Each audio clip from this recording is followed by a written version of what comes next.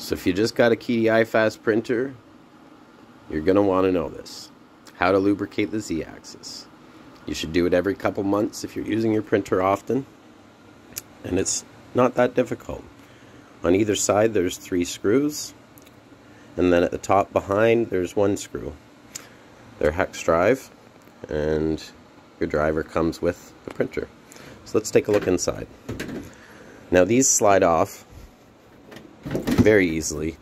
They take a little bit of, let's say, practice to get it just right, but uh, it does slide off very easily. And let's take a quick look. So right here we have the linear rail and the Z-screw. On the Z-screw you're going to want to use lithium grease. And on that linear rail, best thing you can use is a little bit of gun oil. Then you're done. Give them a clean first nice clean rag and then lubricate, replace, and enjoy for another couple months.